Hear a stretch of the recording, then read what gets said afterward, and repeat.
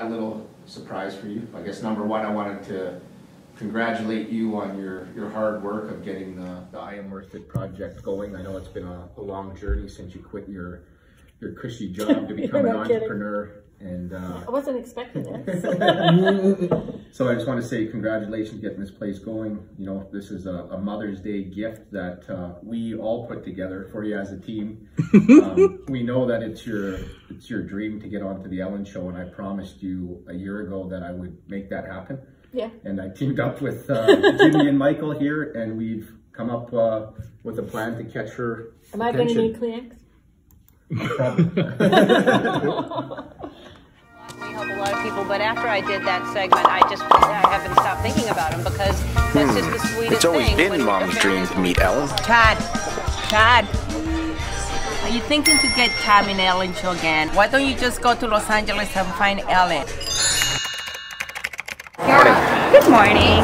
Today I'm just coming to LA here, seeing if you've seen Ellen DeGeneres around it. actually seen her at the Wax Museum. Hey, Zach. Nice abs. You seen Ellen around here? You have to wax museum? Hey, Jimmy, how you doing, man? Looking sharp. Any chance you could tell me where Ellen is? Any chance you could tell me where Ellen is? Would you happen to know where Ellen is? Never mind, you would know. Obama, 2020? Betty, stay golden, girl. Do I feel lucky?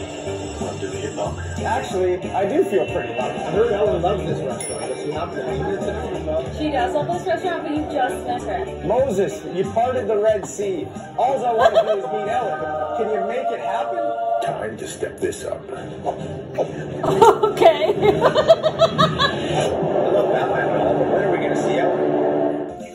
Are you in LA?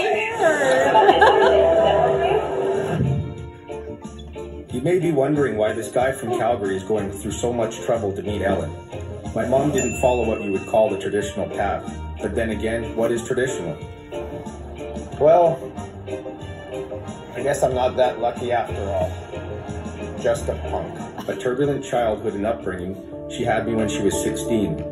Married into a physical and mentally abusive marriage before she was old enough to vote. Found the courage to fight her way out for her and her children then hit with cancer at the age of 36, leading to another battle for her life. I'm not too sure what was harder for my mom, the abusive marriage or the rounds of treatment. But this isn't a pity story. Outside of these challenges, my amazing mom worked her way up from the stockroom floor to the boardroom table, even though to the world she didn't have the right credentials. Despite her successes, she had struggles recognizing her own worthiness. Then one day on the phone with my mom, we were discussing her strategies going into her raise review the next day. When I said to her, Mom, it's not that they don't value you, it's that you don't value yourself. That's the day when it clicked. It wasn't other people that were holding her back, just like countless other women, she didn't believe she was worth it. For the first time, she said no, that's not good enough to the raise she was offered. And to her surprise, she ended up receiving more than what she asked for. So you know what she did next? She quit her job. That's right. My 53-year-old mom, grandma, who always played it safe and by no means was financially ready to retire, quit her job. I thought she was crazy. she did this to follow her destiny to help other women around the world find their worthiness. My mom has sacrificed so much in this journey, and it hasn't come without its challenges.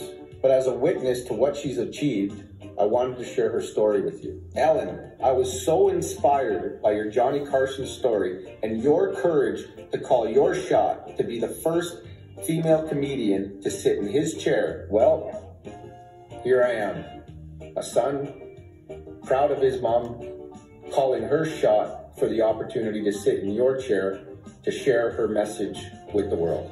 Okay, that's it for me. Hopefully this video brought you a laugh. I had a lot of fun making it.